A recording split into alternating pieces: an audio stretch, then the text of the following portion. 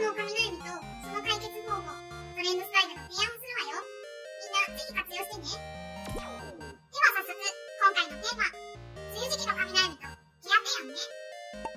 梅雨って聞くだけで、とっても気分が落ち込んじゃうわよね。そんな梅雨に、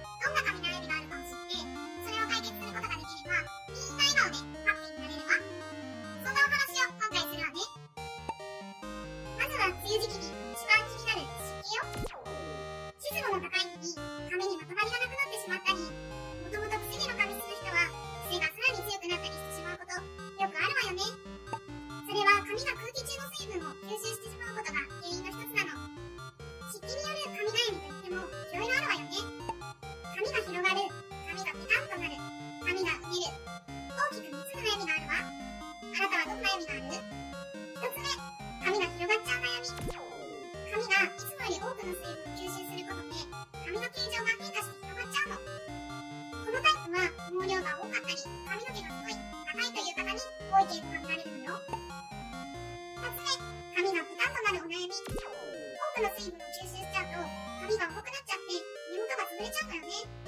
あと、皮脂の分泌が多い人も注意が必要よ。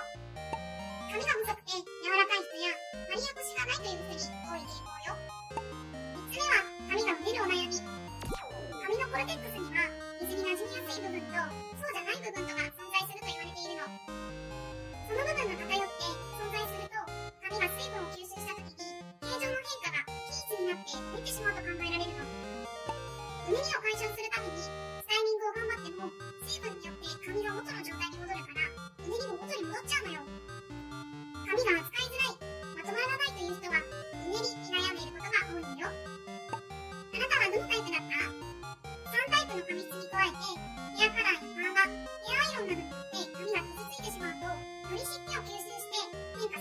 態になる可能性があるの。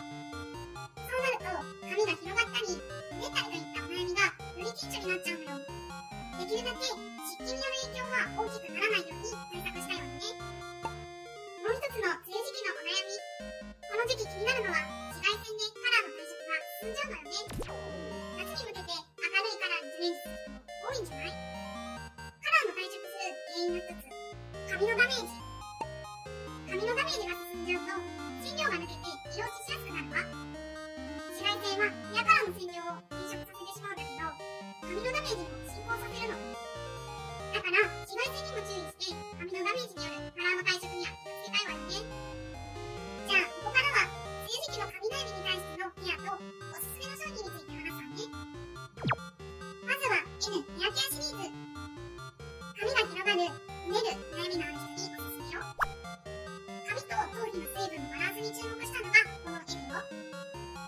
独自の潤いバリア処方によるモイスチャーコントロールで髪内部の水分量を一定にしてくれるのよ。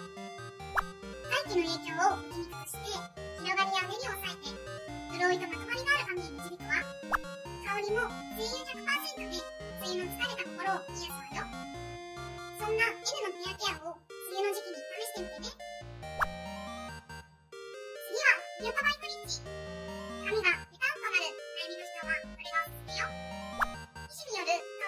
you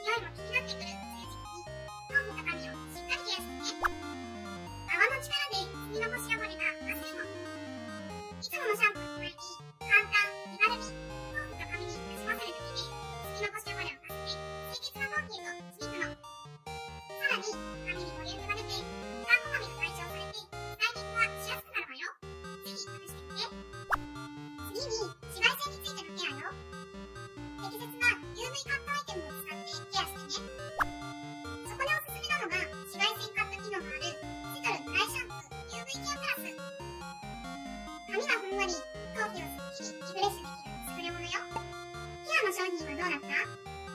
梅雨時期の髪悩みには適切なヘアケアで対策してね。詳細はナカノのホームページをチェック。梅雨時期の髪悩みに対して生活スタイルに合ったヘアケアを提案しているわよ。中野ビューティーメソッドはこの動画のほかウェブサイト冊子で2ヶ月に1回発信中。どんどん発信していくのでぜひチェックしてみてね。詳しい内容はナカノビューティーメソッドで検索。以上で今回のミニマンは終了よ。また次回、6月にみんなに会えるのを楽しみにしてるわね。またねー。